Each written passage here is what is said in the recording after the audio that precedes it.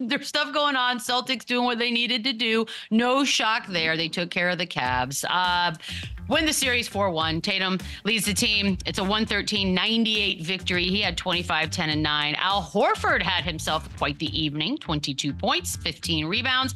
Evan Mobley had a career high 33 points and seven rebounds. But remember, Cleveland, no Donovan Mitchell, no Jarrett Allen, no Caris LeVert. Um, I will say this, Shams. Look, the Cavs took another step forward, which I suppose we can look at as the positive. They lost in the conference semis. So, off-season ideas, moves, what are we thinking is going to happen here?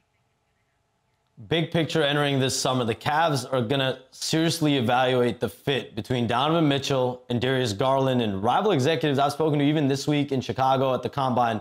They expect that the Cavaliers ultimately may have to choose one of them. And of course, the Cavs will be able to offer Donovan Mitchell a four year, almost $209 million contract extension this summer. They want him to stay.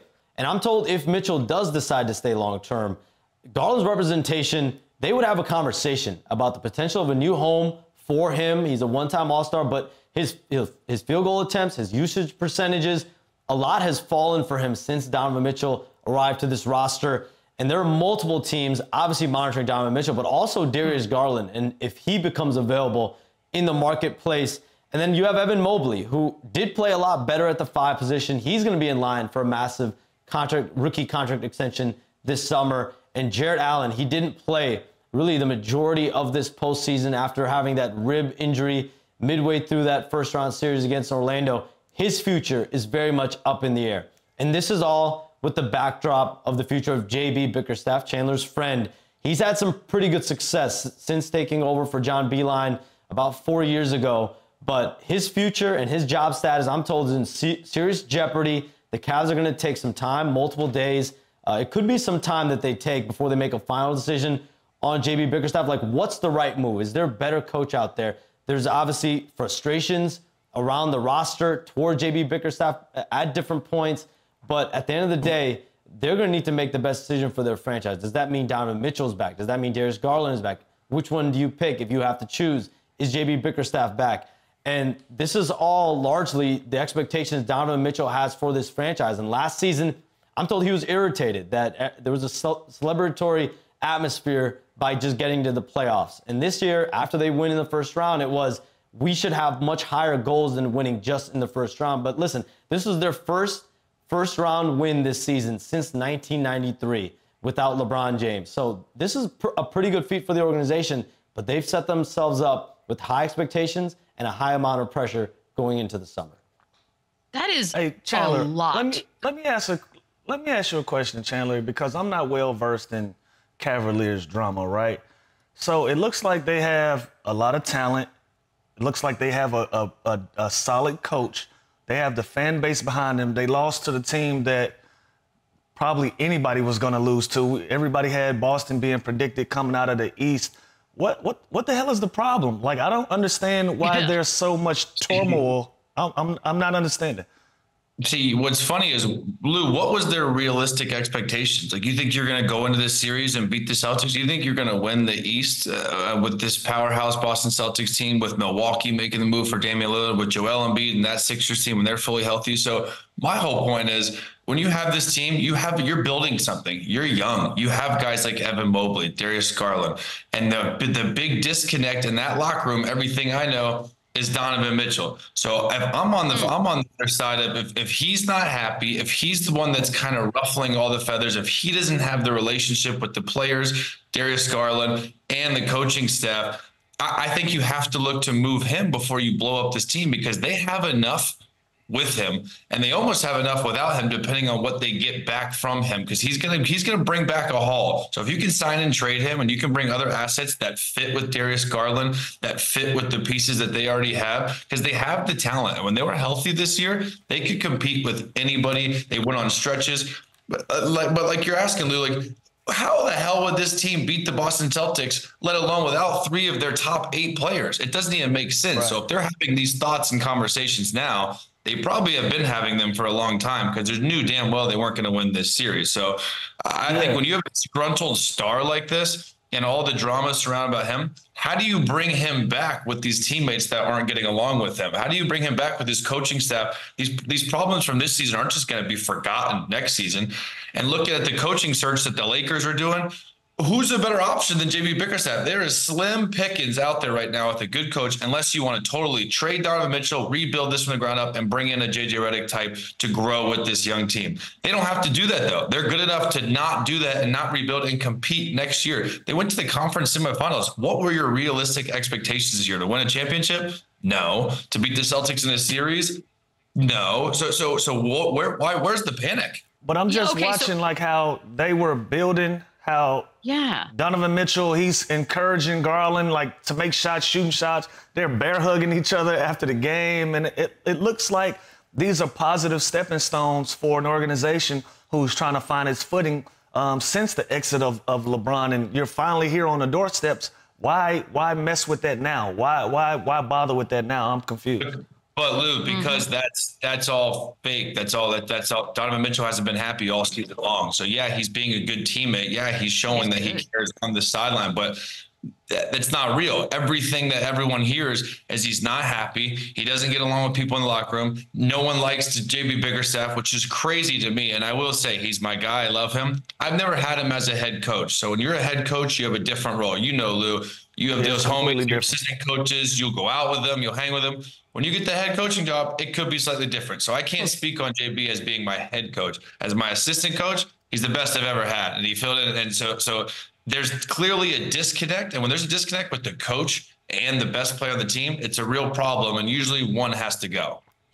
So wait, when you say it's all fake, like the hugs, like it's just good acting. So if that's the case, then is the is the is the given then that you do have to move Donovan Mitchell? There is no working around it if it's that bad. That's, that's my that's my point. Obviously, he's their best player. He's their everything. So usually that helps. Usually that usually that trumps everything.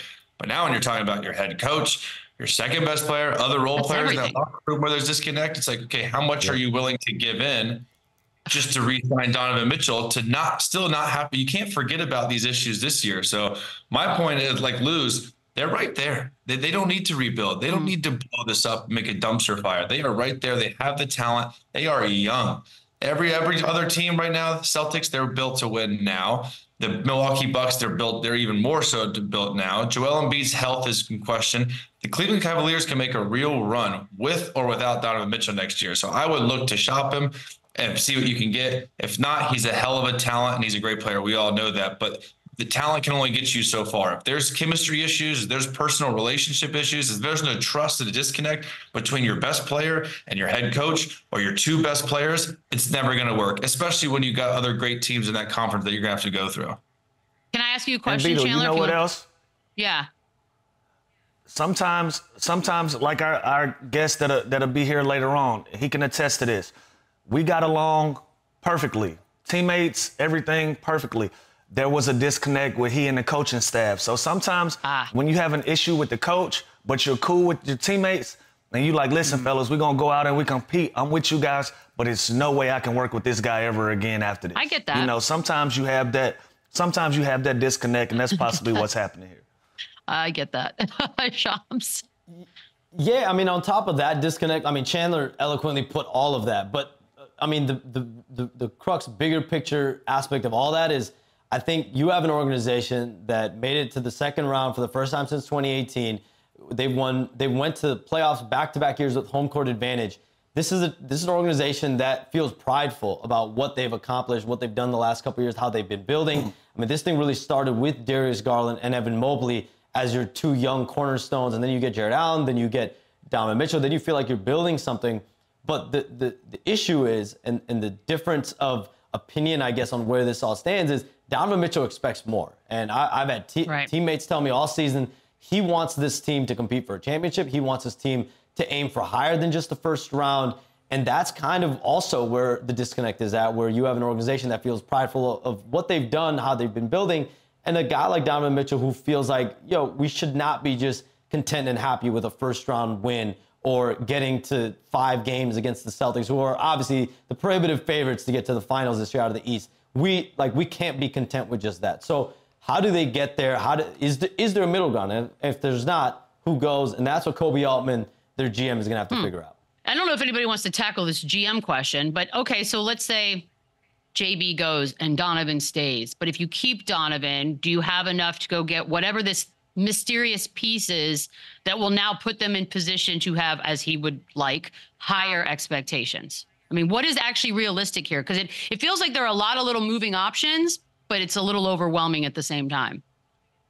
Well, Here's the problem too. You're not Cleveland's not a free agency destination. So Donovan Mitchell is most likely the best player that you're gonna you're gonna have on your team. You can now, I, I if you hmm. can shop him, you trade him, you can get two or three good players. And like I said, they have enough with Jarrett Allen, with Mobley, with Strus, with all the with the with Darius Garland. If they now put two or three more rotational players with that, they can almost be a better team than with him with this disconnect. So I think there's room to make a jump. I just think first you have to handle the locker room. You have to handle the chemistry because you can have all the talent in the world. If you're not vibing, if you're not getting along, if you're not willing to play as hard as you can every single night for your coach and for the guy next to you, it's not going to work. I don't hear. I don't care how good Donovan Mitchell is. And what's weird about this is he's everything I know about Donovan Mitchell. He's not a bad guy. He's likable. People Right. love him. We have mutual friends. So I don't think this is like a, a, a negative towards Donovan Mitchell. I just think something happened in that locker room where there's too many issues to so, to the only thing left to do is to is to move is to make a move. So Koby Altman's got a lot of decisions to make this summer, but my personal opinion is no need to panic. You are in solid shape. You are right there. You have the talent. And then the coaching front, my question is, Shams, like, who the hell, who do they hire? Like, who, who, who, who's out there available? Chandler. JJ Redick, woohoo! He's Sure. everywhere. Like, fine, And- but like, but you're, you know you what? ain't getting anybody better. Look, it's so many of these. Like, where is he gonna go? This is the best case scenario for him off the top of my head, right? Like, if you go to New York, you're gonna be a, a sidekick to Brunson. Julius Randle is gonna come back. You go to Orlando, that is that is Banchero's basketball team. Even if you come to Atlanta, it's still Trae Young's team. OKC, all of these teams already have their young superstars, their their their one number one guy. So if you're trying to be a one guy, there's not a lot of scenarios you can leave Cleveland and become that. You're going to be a wingman to somebody who's already put some stepping stones in place with an organization. And so, I mean, where else do you go that you're not going to be the sidekick? So for him wanting to strive for more, it's best you build it where you are um, as it stands, opposed to trying to go somewhere else and fit in because you're gonna you're gonna be the B option on 90% of the teams that's out there available for you. The grass isn't always greener on the other side. You know this, Lou. You think everything's not peachy on, on, on your town and your city and organization. You go somewhere else and it's worse. So I personally would love to see them work this out because I do think they have enough to compete next year. Let's not forget how good they were. Those stretches where they were all fully Oh healthy. yeah. They were they were really really good. So let's let's not panic, Cleveland. You, you, you're right there.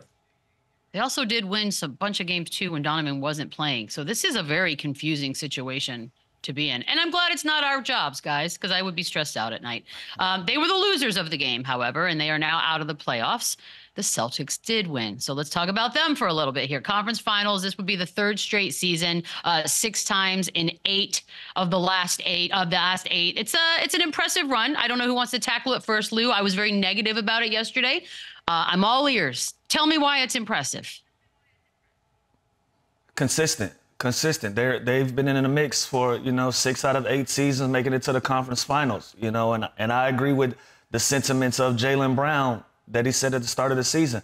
This year's championship or bust. You know, they're tired of getting just close enough to be a good basketball team. You know, they want to conquer the hill. Hmm. They want to be on top of that on that top of that mountaintop and and you know and, and celebrate a real win opposed to just getting to the conference finals and and having success in that way, you know. And so very consistent, very impressive. And they've done it with the core group of guys. You know, they've done it with, for the most part, the same group of guys with, with a little turnover here and there. But other than that, you know, Jaylen Brown has been a part of all of these runs uh, with bringing Jayson Tatum in right after that. And, and so they figured it out on how to keep chemistry going, on how to plug guys in and continue to have success. So very impressive run. But you know, like I said, they're in a situation now where, you know, good isn't good enough. They got to be great. They got to come away with a ring now.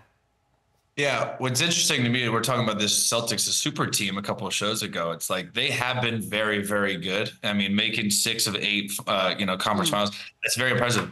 they haven't won one championship. So it, it's they haven't won a championship since 2008. So so it's it's as good as they've been, as consistent of a rate of a regular season team, and they won those first two. They are so talented, and they have set the bar so high that they have made it a championship or bust because we know they have enough, right? They have the yep. best starting five. They defend, they score. They have an absolute stud in Jayson Tatum. They have another absolute stud that can go and be a number one option most other places in Jaylen Brown. They have the best guard defender in Jrue Holiday, the best role player in Derrick White. I think for them to actually win the championship and beat one of these teams in the Western Conference, they need Porzingis. They need his shooting. They need his ability to stretch the floor and p- play that two man game. But yeah, this team is so good and they've shown us how dominant they can be that just getting to the conference finals isn't enough. Getting to the NBA finals isn't enough. So when you have this talent, when you you set these expectations so high, you have to win it all this year. And if they don't, listen, is it a failure? Yeah, internally oh, you, you, are playing for a champion. Do they blow it up? Do they? no, I think they're going to keep this core together. Now Mazzulla might be gone. Some other little pieces might be gone, but for the most part, they have their team for the next four to five, six years. They just need to get get that big championship. And once they win one, I wouldn't be surprised if they would. They're going to win another one. Like they're they are that good. They are that good. So and they're straight up cakewalk into the finals with the with the teams that they're playing here. Yeah, that part does help. Uh, funny you said it's not a failure if they don't win, because Rajon Rondo says it is a failure if they don't win the championship this year. And again, it's tough because you got you got Denver possibly lurking over on the other side. Uh, it's always going to be somebody tough over there, Lou. You agree with Rajon, though? Failure if you don't win at all? Yeah, I mean, I, I agree because this is a sentiment that, that they've expressed. They feel like it'll be a failure without coming away with the title. You know, they, they, they lost to Denver a year ago, and they feel like they're a better team since then, and they feel like they they have enough to get over that get over that hump and get over that edge. And so, Rajon Rondo is only echoing what you know, internally what the Boston Celtics have said themselves. You know, this is championship or bust.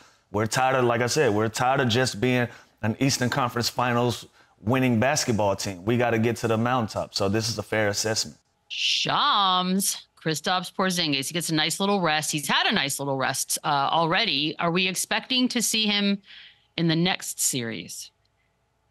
It's still unclear. He is doing more on the court, which is good. He's moving around, he's shooting, he's he's doing some pick and roll stuff on the court. So he's starting to do more and more. But you have to be careful with that cast and He's about two and a half weeks in as right now. He may need more time. I think the Celtics will see. Uh, they still have to wait for the for the finish of the other series to see who they face in the conference finals. But right now, the Celtics will be patient with Kristaps Porzingis uh, they need him for the finals. That's something that's for sure. Mm-hmm. Uh, we'll see who they play in the Eastern Conference Finals, but uh, if they are without him, I think the expectation still within Boston is that they need to get to the finals. They need to beat whoever's next, with or without Porzingis, and then that's where the real championship or bust expectation starts come finals. That cakewalk situation is really coming in handy for his uh, his rest time. Well, well, well done.